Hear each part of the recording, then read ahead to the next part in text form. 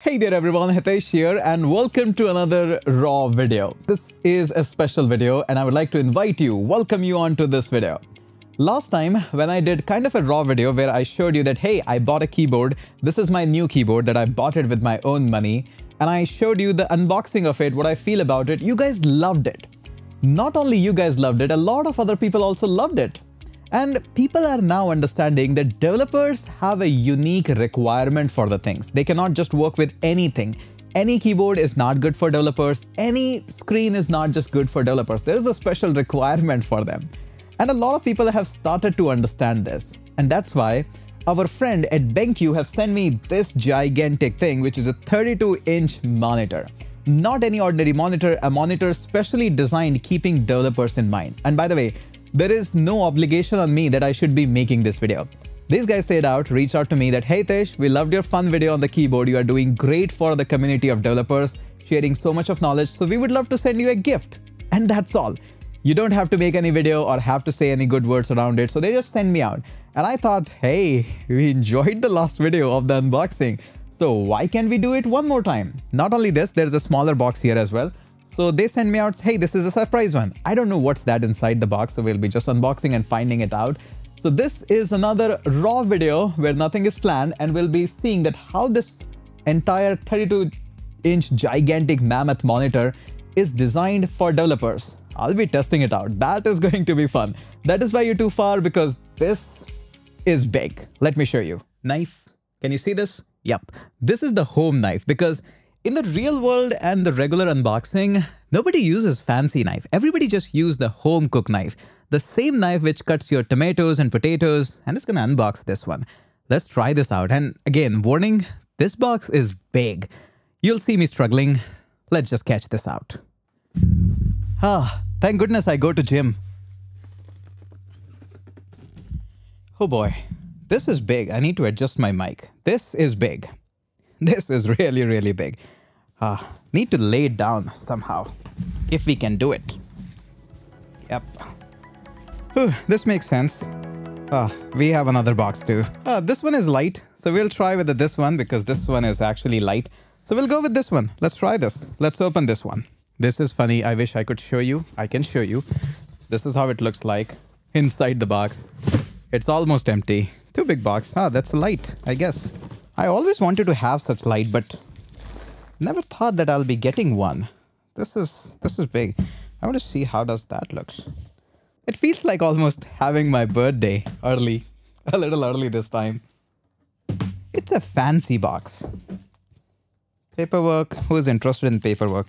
I really don't understand that when and why these all these unboxing videos show the product at the last because I'm interested in the product, not in the paperwork. Oh, that's a fancy LED uh, I'll show you the close ones as well. The close shots, fancy ones. Just like this, but we're gonna go with that. Oh, we have a dial with this one. We need to check this out. This looks good. Did I broke it already? No. No, didn't.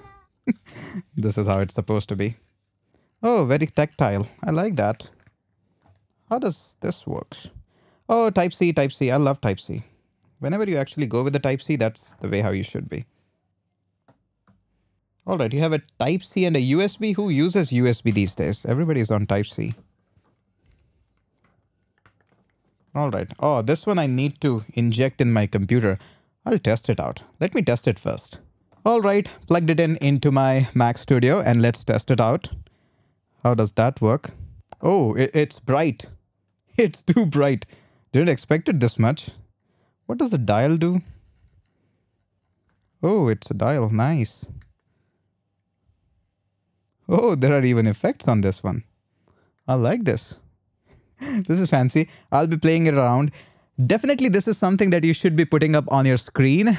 But you know, we're not going to do that always. We'll be using it for some things else as well. Maybe outside on a Diwali. What's the planning? Who knows? Anyways, let's keep it aside and try to open the main ingredient, which is the box. All right, time to open up this box and I'm a little scared that it's too big, man. How alone I'm going to do this? One thing I can say that you don't need fancy cutters and fancy knives. this one does the job. Our mom is has been using this for so long. It, it just works. Oh, I'll give you that. Unboxing is not an easy thing. I don't know how these people do all these unboxing or probably they hide a lot of things behind the scene.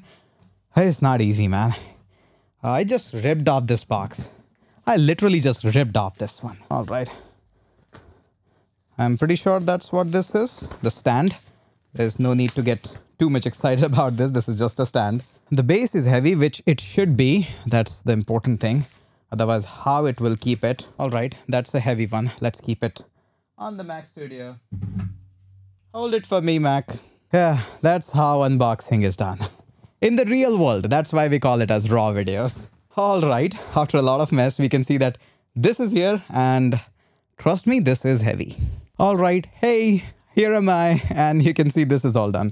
One of the reasons why I was super excited about this is because of this. Yeah, this is one thing. All right, keeping it aside, I think this is something which I'm super excited and I'll be definitely taking advantage of this one.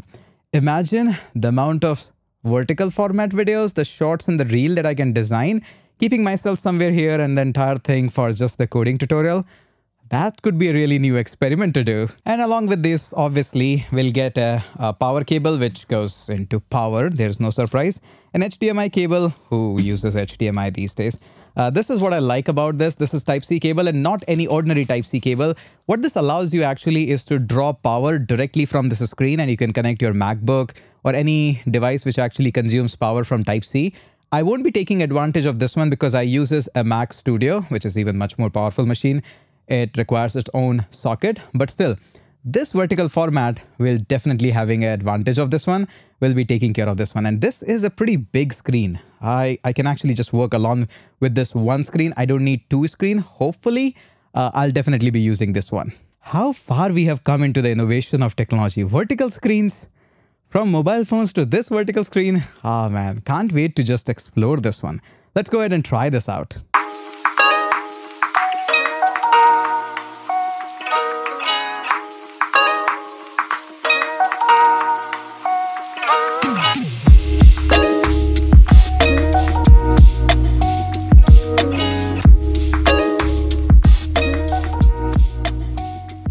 So this is the screen that we have. You can turn it on from here. So all the controls are actually available to you here. So just turn it off, turn it on, just like that. There we go. One thing that I like about it is you can actually enable the modes from here. So if I just check it out, you just have to press this one up here and you get this one. So notice here, there's a coding mode, standard mode, user mode, e-paper mode, very light. This one, I like it a lot, e-paper.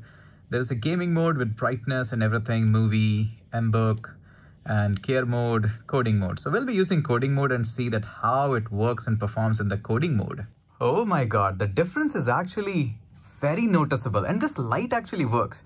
You don't see it directly when you're actually watching the video, but I see the difference there is a there is not so much strain. You'll notice eventually after working just within half an hour that this light, uh, this light actually is important. And I've checked it out into the coding mode and you can see the brightness and everything is there. So let's just change the mode of it. And you'll see that there is a coding mode and we can change it to standard, a user, uh, like this e-paper, but nobody will like to watch the video in this one. But hey, this is e-paper. All right, quick question do you really want that I should make some videos in this e-paper mode? Maybe just the videos where I code, no audio, nothing like that? Just comment in the comment section and I'll, I'll get to know. Too bright for me. Movie. And notice here, in the game mode, my screen is actually bluish, which is the color which I set up while my changing my VS Code setting. But if I go ahead and change it to the coding mode, it actually turns it into black. So it actually changes and play around with my color. It's not like a gimmick. It actually works and changes that. I know that because I have set up this VS Code theme into a bluish tone. It changes it into a black tone and which actually makes all of my code vibrant and easily readable. I like this. This is how it looks like.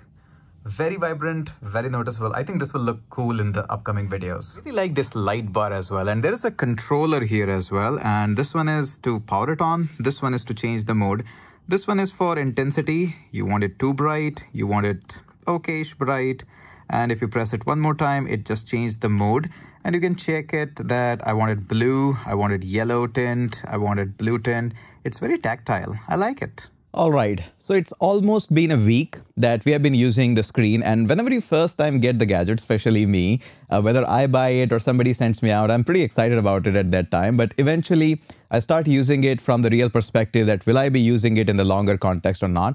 And it's been almost a week that me and the entire team have been using it. Now, I really appreciate that how the BenQ colors and how the screen came out and in the longer run, I really liked it.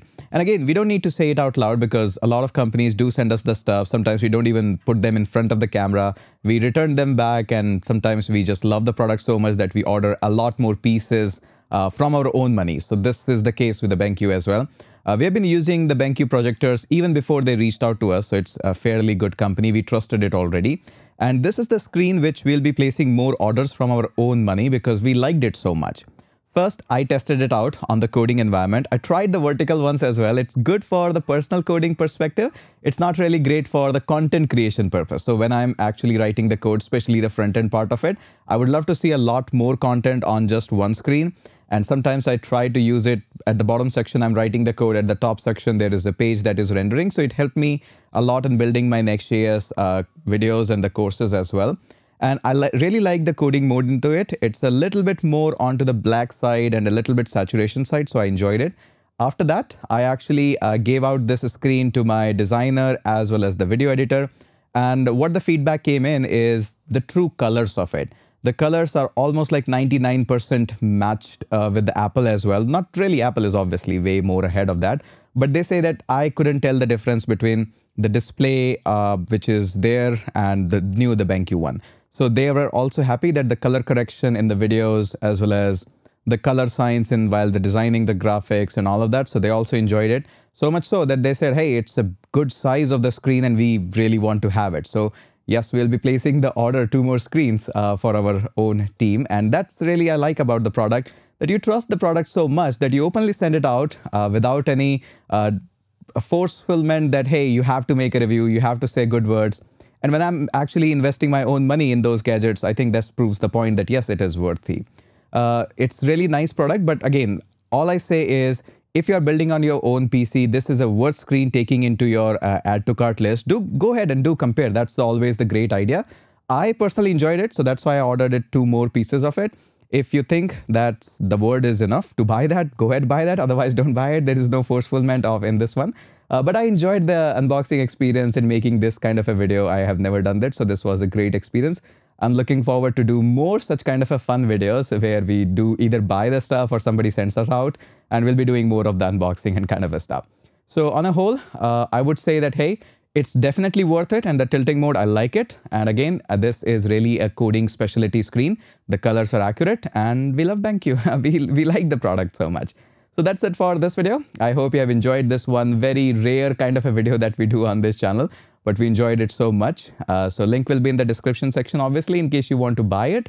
And uh, thank you so much, BenQ, again for uh, giving us this experience, a unique experience that we enjoyed so much, the entire team. And thank you so much for making a good product as well. Thank you. Bye-bye.